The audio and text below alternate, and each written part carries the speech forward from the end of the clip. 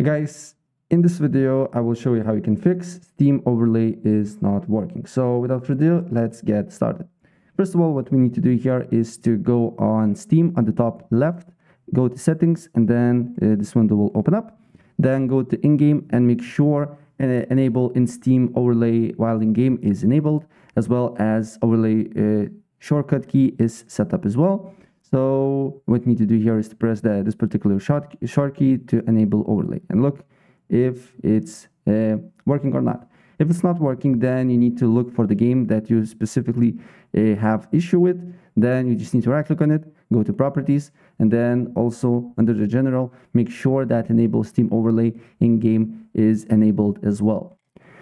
If this do not work, what I suggest to do here is to uh, simply go to Task Manager Task Manager and look for uh, under the processes for Steam uh, and all the tasks related to Steam here.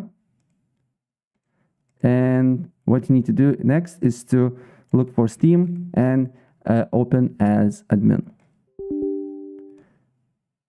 If still overlay is not opening, then go to library, uh, right click on the game, uh, go to properties, and then install files and verify integrity of the game files and look if the problem persists after that.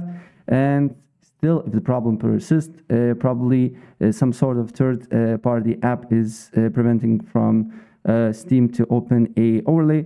So it can be, for example, controller apps like DS4Windows, or maybe other overlay that is opened. So just need to close tasks one by one on Task Manager, Task Manager that you simply did, did not use and then look if the overlay is uh, working or not.